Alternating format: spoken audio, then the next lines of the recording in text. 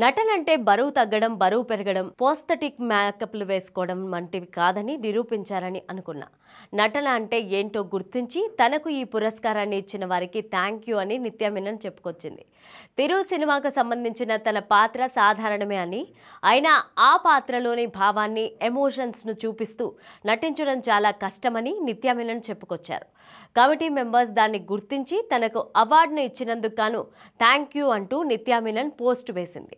అయితే ధనుష్ హీరోగా నిత్యా మీనన్ రాశి కన్నలు హీరో హీరోయిన్స్గా ప్రకాష్ రాజ్ భారతీ రాజా ముఖ్య పాత్రల్లో నటించిన తిరు విడుదలయ్యి ఇప్పటికి రెండేళ్ళు పూర్తయిన సందర్భంగా తనకు జాతీయ అవార్డు వచ్చిన సందర్భంగా నిత్యా మీనన్ పోస్ట్ వేశారు. తనకు దక్కిన మొదటి అవార్డు విషయంలో నిత్యా మీనన్ సంతోషాన్ని వ్యక్తం చేశారు. ఇక సినిమా విడుదలై రెండేళ్ళు అవుతోంది. ఈ సెలబ్రేషన్స్ కోసం మనం కలుసుకోలేకపోయాం. అయితే ఇది పెద్ద వేడుక. ఈ సినిమాతో నాకు మొదటి జాతీయ అవార్డు రావడం అనేది చాలా సంతోషంగా ఉంది. జాతీయ అవార్డు వచ్చిన తర్వాత నాకు ఫోన్ చేసి అభినందన తెలిపిన ప్రతి ఒక్కరికి కూడా నా కృతజ్ఞతలు. తెలిసిన వారు తెలియని వారు ఎంతోమంది నాకు ఫోన్ చేసి శుభాకాంక్షలు తెలియజేస్తూ ఉంటే చాలా సంతోషంగా ఉందని తెలియజేశారు.